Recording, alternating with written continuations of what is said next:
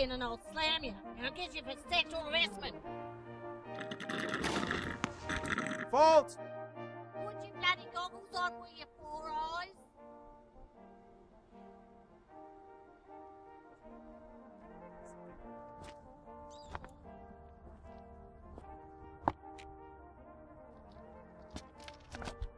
Compliments of the house.